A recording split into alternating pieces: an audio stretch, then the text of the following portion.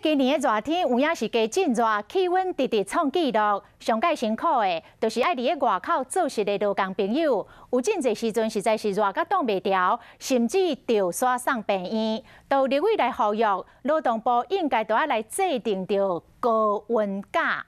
其实有真侪国家拢有这个高温假哦，像这个中国的上海，甲这个日本的企业拢有高温的津贴。啊，那这个美国有来制定着高温工作的规则。啊，那这个澳洲咧，这个气温也超过四十度，对互一寡户外劳动者来停工休困。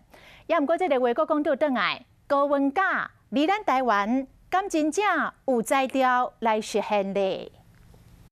日头遐尼大，离工地辛苦做工课，大粒汗、细粒汗。根据统计，台北七月份超过三十八度的温度都有八天，七月二时温度是三十九点七度，是一百二十四天以来上高温。这么热的天气，伫户外咧做工课，较会着刷寒热伤害。李伟认为，劳动部应该制定高温假，在特定的时段里面已经不适合出勤了。好，那当然就这些室外工作的员工来讲的话，好，他就可以有一个居住的权，也就是说，他应该就要待在室内。咱来看国外，亲像中国的上海，只要气温超过三十五度，都有代表八百四十九块的高温津贴。过来看日本，有一所企业气温超过三十度，都有代表百一块的津贴。